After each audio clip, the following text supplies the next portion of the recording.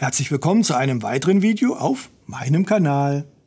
Natürlich muss auch ich etwas zu der neuen Solarförderung, die durch das Verkehrsministerium angestoßen wurde, sagen. Wobei ich nicht nur auf die Bedingungen und Beträge eingehen möchte, sondern auch ganz klar formulieren, warum das für mich eine Mogelpackung bzw. reine Klientelpolitik der FDP ist. Beginnen wir mit der Klärung, worum es eigentlich geht. Vor einer ganzen Weile kam aus dem Verkehrsministerium Meldungen, dass eine Förderung für E-Autofahrer geplant sei. Wer eine PV mit Speicher hat, solle eine Förderung für eine Wallbox erhalten. Jedenfalls war es bei mir und ich glaube vielen anderen auch so angekommen. Das macht ja auch Sinn, denn für die Photovoltaikanlagen und die Speicher war seit Anfang des Jahres die Mehrwertsteuer ausgesetzt worden. Für Ladesäulen betrug sie aber weiter die vollen 19 Prozent. Ich selbst hatte ja basierend darauf meine PV-Anlage bestellt, die Bestellung einer überschussfähigen Wallbox aber noch nicht ausgelöst, denn ich wollte auf die versprochene Förderung warten. Wie gesagt, die PV und der Speicher wurden ja bereits über das Wirtschaftsministerium mit der Steuersenkung gefördert. Nun kommt also die neue Förderung aus dem Verkehrsministerium und sieht völlig anders aus als gedacht. Schreibt mir das gern unten in die Kommentare, wenn ihr Wissings Aussagen im Frühjahr so verstanden hattet, wie das, was jetzt wirklich letztlich kam. Rein von der Theorie wäre meine Anlage perfekt für das KfW 442-Programm, wie es offiziell heißt, gewesen. Gedacht ist es für private Wohnhäuser, also keine Wohnungseigentumsgemeinschaften, keine Mietgebäude, es sei denn, es gehört euch und ihr bewohnt eine Einheit, und auch keine Feriendomizile, es sei denn, es liegt in Deutschland und ihr legt euren Wohnsitz dorthin. Für eine Photovoltaikanlage mit mindestens 5 Kilowatt Peak gibt es 600 Euro pro KWP. Gedeckelt auf max 10 KWP, also 6000 Euro. Dazu kommen für jeden Speicher größer 5 Kilowattstunden nochmals 300 Euro pro Kilowattstunde. Hier ist ebenfalls bei 10 kWh Schluss, sodass es für den Speicher maximal 3000 Euro Förderung gibt. Dazu noch 600 Euro pauschal für eine Wallbox. Dann sind wir bei 9600 Euro Fördersumme. Nochmals 600 Euro gibt es, wenn die Wallbox auch bidirektionales Laden unterstützt. Also aus dem Auto auch das Haus versorgen kann. So wirklich gibt es die meines Wissens noch gar nicht. Auf der IAA wurden wohl welche vorgestellt, aber dann hapert es an den Autos. Ich bin mal gespannt, wenn die offizielle Liste der förderfähigen Wallboxen online ist, welche da als bidirektional angeboten werden. Mit meiner 9,96 kWp-Anlage, dem 10,2 Kilowattstunden Akku, der Wallbox und den zwei E-Autos müsste ich also eigentlich locker die 9600 Euro beantragen können. Soweit, wie gesagt, die Theorie. In der Praxis scheitert es bei mir gleich an mehreren Voraussetzungen. Die erste Hürde würde ich noch nehmen können. Alle drei Komponenten für die Solarspeicher-Ladeanlage müssen kombiniert bestellt werden. Ist noch kein E-Auto vorhanden, muss auch zumindest dessen Bestellung vorliegen. Erster Fallstrick bei mir, die Anlage ist schon lange bestellt. Bei fast allen mir bekannten KfW-Förderungen müsst ihr erst die Förderanträge stellen und dürft erst, wenn die ihr Go gegeben haben, eine Bestellung auslösen. Ich habe das ein paar Mal in meinem Mecklenburger Werk durchexerziert und die sind da sehr beamtengründlich, was die Datumsprüfungen angeht. Auch bei diesem Förderprogramm heißt es, erst Angebote einholen, dann Anträge stellen und erst, wenn die Bewilligung da ist, die eigentliche Bestellung auslösen. Meine Anlage hatte ich aber schon vor knapp zwei Monaten bestellt. Jetzt wird bestimmt manch einer denken, ja Mai, dann soll er halt die Bestellung stornieren, die Anträge neu stellen, neu bestellen und die Förderung kassieren.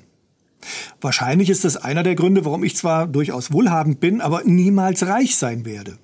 Mir widerstreben solche Handlungen grundsätzlich. Ich gehe nachher noch darauf ein, warum ich die Ausgestaltung der Förderung per se schlecht oder nennen wir es eher unfair finde. Aber trotzdem kommt es für mich nicht in Frage, schon gar nicht, da die Anlage so alles klappt schon nächste Woche kommen soll. Trotzdem bin ich mir sicher, dass diverse Solateure gerade Anrufe bekommen mit genau so einem Stornierungs- und Neubestellungswunsch. Schaut man sich den diesjährigen Zubau an PV-Anlagen an, so hat allein schon die bereits erwähnte Aussetzung der Mehrwertsteuer zu einem starken Anstieg geführt. Und diverse Anlagen sind derzeit noch im Vorlauf. Ich lege mich mal fest, dass nun einige versuchen werden, den eben gerade von mir skizzierten Weg zu gehen. Nun hatte ich eben ja auch schon davon gesprochen, dass wir nur scheinbar die Bedingungen für die Förderung erfüllen würden. Und das ergibt sich aus den Förderbedingungen. Unser Haus ist ein selbstgenutztes Wohngebäude und die Installation einer PV-Anlage ist grundsätzlich bei uns möglich. Woran es bei uns aber zusätzlich scheitert, ist, dass sich ein reines Elektroauto im Eigentum eines im Haushalt Lebenden befinden oder zumindest von diesem bestellt sein muss.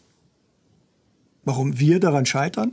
Nun, der i3 ist dank des Rex rechtlich ein Plug-in-Hybrid, die, glücklicherweise nicht gefördert werden und der iX3 befindet sich im Eigentum meiner Firma und erfüllt damit ebenfalls die Kriterien nicht. Freiberufler sind hier gegenüber angestellten Firmenwagenfahrern mal wieder klar im Vorteil. Man kann diese Förderung meiner Meinung nach auch locker Klientelpolitik nennen. Dazu muss das ganze System so aufgebaut sein, dass der Solarstrom zuerst ins Auto, dann in den Hausspeicher und ganz zuletzt erst ins öffentliche Stromnetz geht. Schreibt mir gerne in die Kommentare, mit welchen technischen Kniffen das überhaupt funktioniert. Ich meine, für die Zappi gäbe es eine solche, allerdings zusätzlich zu kaufende Vorrangbox. Die anderen werden da dann wohl nachziehen. Etwas seltsam wird es dann, wenn man die Höchstförderung bekommen möchte. Dafür muss die Wallbox, wie bereits erwähnt, bidirektional sein. Also nicht nur ins Auto laden können, sondern von dem auch wieder ins Hausnetz zurückspeisen. Warum man dann aber trotzdem noch zwingend einen Speicher im Haus braucht, werden wohl nur die Verkehrsministerialen wissen. Genauso wird es deren Geheimnis bleiben, warum Hausneubauten explizit ausgeschlossen werden. Schauen wir aber doch nun vielleicht mal, warum ausgerechnet der Verkehrsminister, welcher allein schon durch die beständige Ablehnung eines Tempolimits, dafür aber Bewerbung von E-Fools zeigt, dass ihm Klimaschutz vollkommen egal ist, nun eine Förderung für PV-Anlagen aufsetzen lässt. An wen wendet sich denn dieses Programm? Leute, die ein eigenes Haus haben und die die Kosten mal eben aus der Portokasse vorfinanzieren können. Denn die Prüfung auf Auszahlung erfolgt erst ab März 2024. Je nach Montagetermin wird der Solateur bestimmt nicht so lange auf sein Geld warten wollen. Jetzt kommt ein Disclaimer. Achtung, im Folgenden kommt eine bewusste und hochgradig sexistische Übertreibung.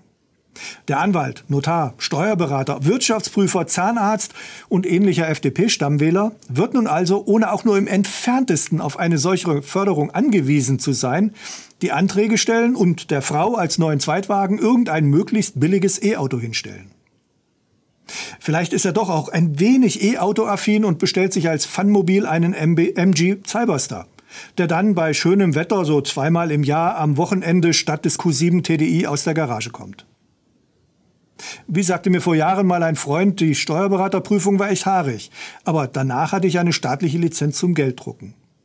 Und nachdem ich den Wirtschaftsprüfer auch noch geschafft hatte, hätte ich nur noch durch eigene Blödheit nicht reich werden können.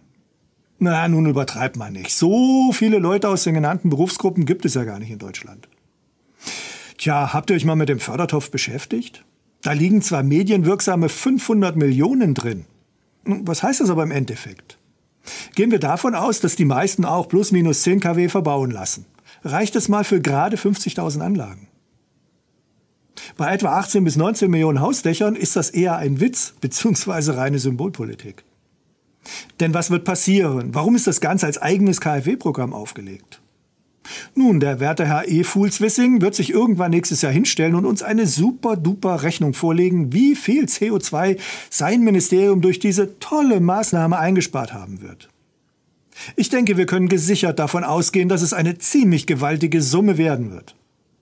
Nur noch mal zur Erinnerung. Die Ampel hat im Koalitionsvertrag stehen, dass sie bis 2030 15 Millionen E-Autos auf den deutschen Straßen haben will.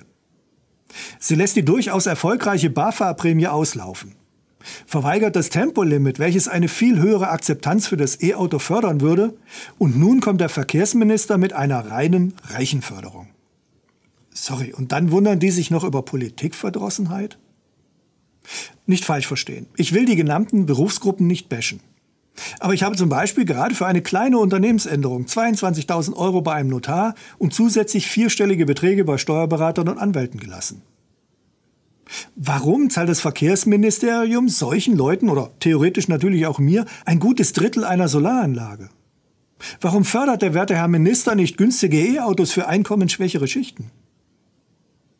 Eines der Hindernisse auf dem Weg zum E-Auto ist ja oft der Preis. Wie wäre es mit einer BAFA-Prämie von 6.000 oder 8.000 Euro für E-Autos mit einem Bruttolistenpreis unter 50.000 Euro, gekoppelt an eine Abfrage des Familieneinkommens, welches, sagen wir, 60.000 Euro nicht übersteigen darf? Was ist denn ein weiterer ganz wichtiger Grund für die Ablehnung von E-Autos in der Bevölkerung? Ich wohne zur Miete und hier ist weit und breit keine Ladesäule. Wie viele davon hätte man durch Kommunen bauen lassen können, wenn die die 500 Millionen zweckgebunden zum Ladesäulenbau bekommen hätten? Aber was erwarte ich schon von einer Partei, deren Boss sich gegen die Kindergrundsicherung sträubt, weil wir dafür angeblich kein Geld hätten, gleichzeitig aber seinen Parteikollegen eine halbe Milliarde für reine Reichenförderungen zuschustert? Nur zur Klarstellung, es geht mir hier nicht um Neid, weil ich die Förderung nicht bekomme. Da hätte sich, wie bereits erwähnt, schon irgendwas deichseln lassen. Ich brauche sie schlicht nicht. Jetzt könnte man natürlich fragen, warum ich es nicht gut finde, wenn Wohlhabende staatliche Förderungen bekommen. Es kommt doch vom Staat, leidet ja schließlich keiner drunter. Da bitte daran denken, dass der Staat genau gar kein Geld hat. Das, was er einnimmt, sind unsere Steuern. So zahlt also, wieder bewusst überspitzt formuliert, die alleinerziehende Mutter ihrem Zahnarzt und der in der Mietwohnung lebende Malocher seinem Steuerberater die Solaranlage mit? Nochmals, wie bereits gesagt, mir geht es nicht darum, die besagten Berufsgruppen zu bashen. Die wären schön blöd, wenn sie die Förderung nicht mitnehmen. Genauso wie ich mich freue, dass ich für meine Anlage keine Mehrwertsteuer zahlen muss. Aber richtig und fair ist das definitiv nicht. Und sowas stört mich halt gerade in der heutigen Zeit, wo die Gesellschaft gefühlt täglich weiter auseinanderdriftet. Und ja, ich weiß, dass mir jetzt wieder irgendwelche Heinis Kommunismus vorwerfen werden. Aber schreibt mir das gern unten in die Kommentare, wie ihr das seht. Bin ich dazu einseitig? Wird die Förderung von teuren Solaranlagen tatsächlich die Akzeptanz fürs E-Auto vergrößern? Findet ihr es gut, dass Leute, denen Geldsorgen grundsätzlich unbekannt sind, mal wieder Geschenke von der FDP bekommen?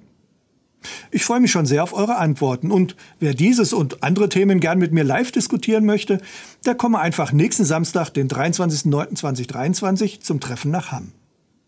Bis dahin verbleibe ich, euer Stefan Lenz.